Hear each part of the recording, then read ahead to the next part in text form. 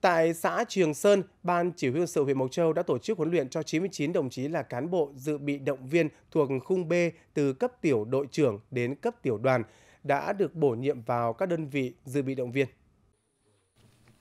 Trong thời gian huấn luyện từ nay đến ngày 29 tháng 9, các học viên được nghiên cứu một số nội dung về tình hình nhiệm vụ chung, truyền thống, nhiệm vụ của đơn vị, xây dựng lực lượng dự bị động viên đáp ứng yêu cầu nhiệm vụ bảo vệ Tổ quốc, một số nội dung động tác điều lệnh đội ngũ mới sửa đổi, những nội dung mới về tổ chức biên chế, thủ đoạn tác chiến của quân địch, nội dung phương pháp trong công tác tổ chức chuẩn bị chiến đấu, cách viết giáo án và làm kế hoạch, biểu huấn luyện, giới thiệu tính năng một số vũ khí trang bị mới.